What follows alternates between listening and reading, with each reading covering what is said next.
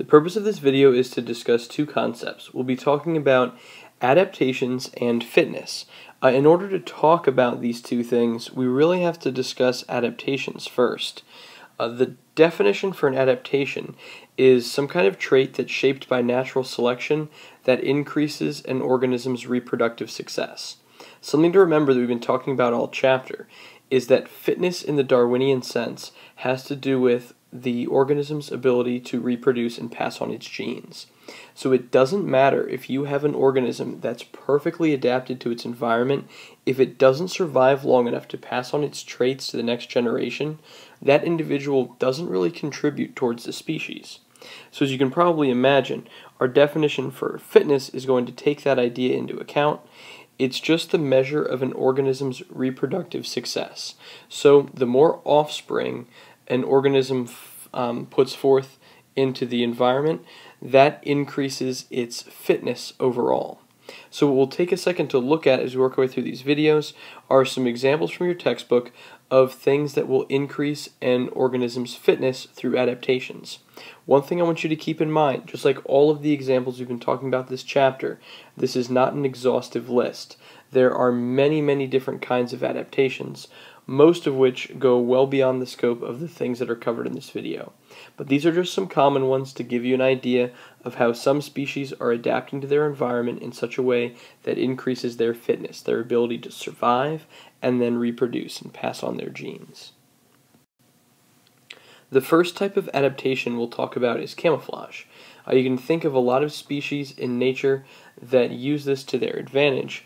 The example that we're looking at in this video is a sea dragon.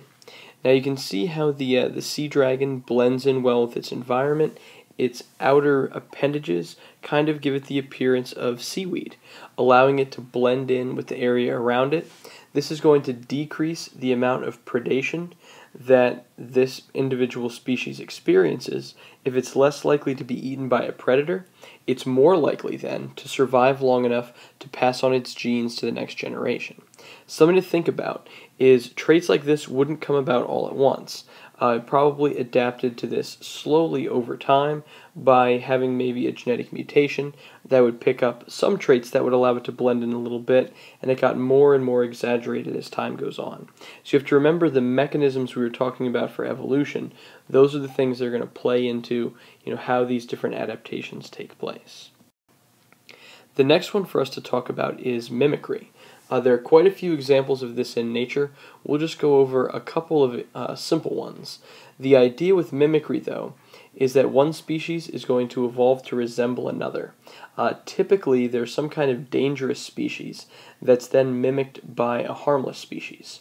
So the king snake and the western coral snake are good examples of this.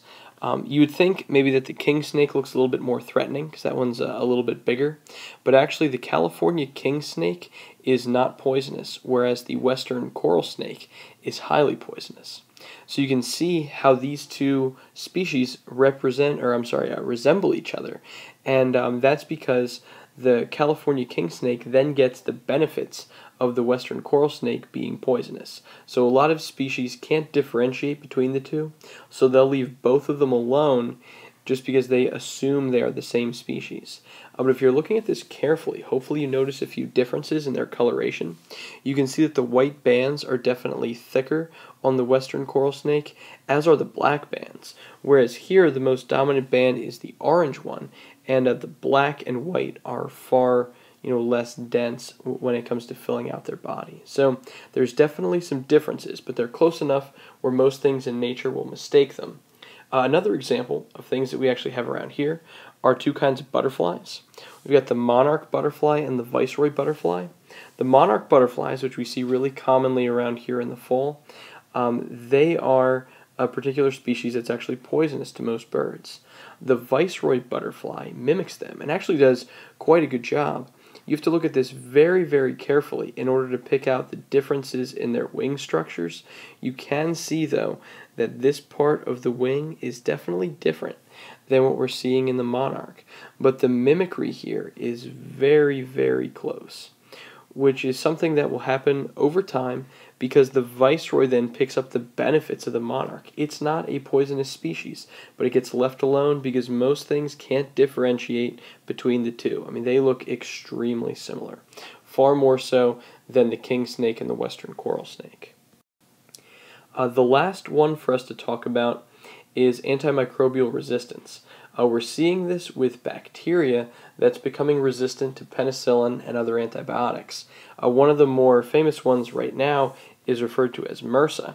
So that's methicillin resistant Staphylococcus aureus. Um, that's basically a type of bacteria that is resilient to methicillin. Uh, methicillin is an even stronger version of penicillin in that it's an antibiotic that will kill most uh, bacterial infections. The problem with MRSA is that if somebody gets it, uh, they cannot be treated with an antibiotic.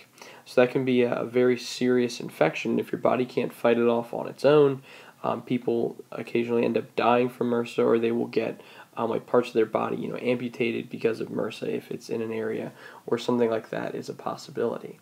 So this is something that's extremely serious because over time, um, bacteria are basically building a resistance to the antibiotics that we're using.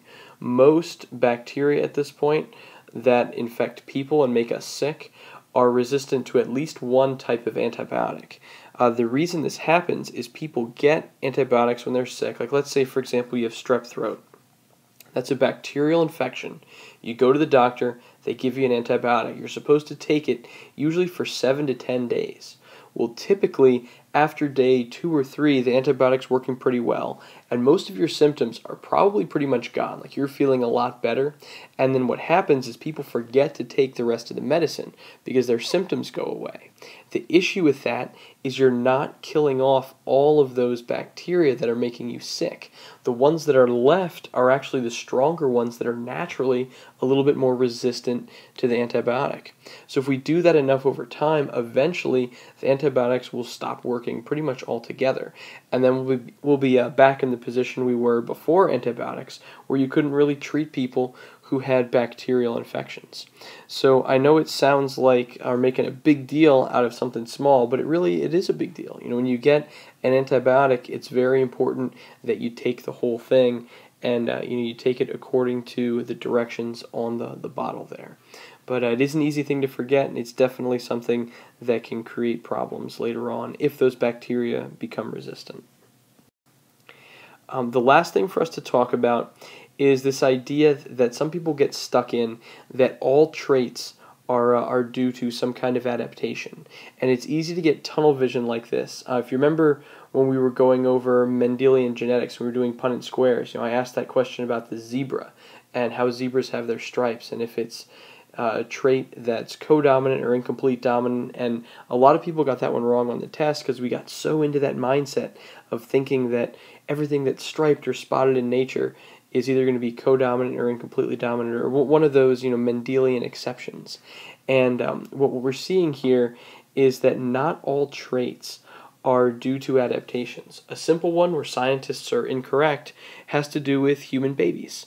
Uh, babies are born and they are one of the most um, helpless creatures in, in all of nature. You know, you think of animals in the wild that are born and can pretty much take care of themselves pretty quickly. Um, human babies are very much of an exception to that. Human babies are completely helpless for long periods of time, right? For well over a year, that baby is pretty much helpless and relies entirely on its parents. Um, one of the reasons babies are so helpless has to do with their morphology. If you take a look at the picture of the baby, the reason I included it in here is not just because this baby's real cute, but it's to show you the relative size of the head in relation to the rest of the body. Uh, part of the reason babies look so adorable is they're kind of proportionately strange compared to adults. You know, if you saw an adult whose head was this size in relation to the rest of its body, uh, that person would look ridiculous. Uh, but babies have such big heads because humans have complex brains compared to other species in nature. And babies are born at a relatively early stage of development. That's why they're so helpless. Uh, partly because humans walk upright. Since we walk upright, our pelvis has a certain shape. And remember, the baby has to pass through the pelvis when it's being born. So, because of that, the baby's head can only develop to a certain extent, otherwise, it would be too big to, uh, to actually fit through the birth canal and then be born in a way that wasn't completely, you know, like invasive to the mother. So part of the, the reason scientists used to think this happened, they used to think babies were born at an early stage of development, so they would get a lot of parental care and nurturing, and that would make them more intelligent. Uh, it turns out that's not the reason we have this adaptation.